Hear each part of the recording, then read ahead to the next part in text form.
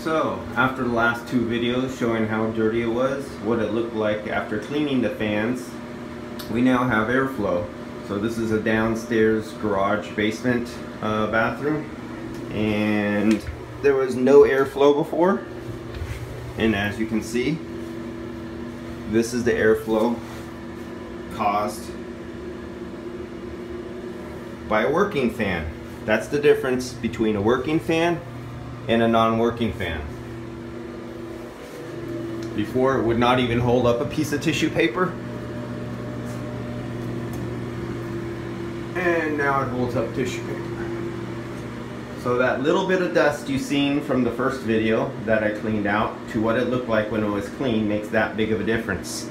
So one of your good tests when you're sitting on the throne on the loo or whatever you want to call it, the baño, the toilet, um, you should be able to feel that air shoot across the floor, hit your feet, and then go up the door. And uh, that's why many bathrooms have mildew and mold spots on the ceiling above their shower up in that area. This is their bathroom shower area.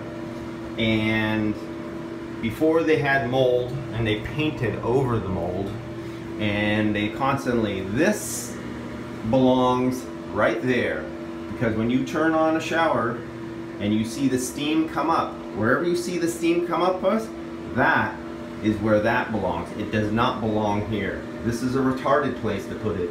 That is the right place to put it. That's it for today. Just a toilet paper test. Anybody can do it and that's what you should see.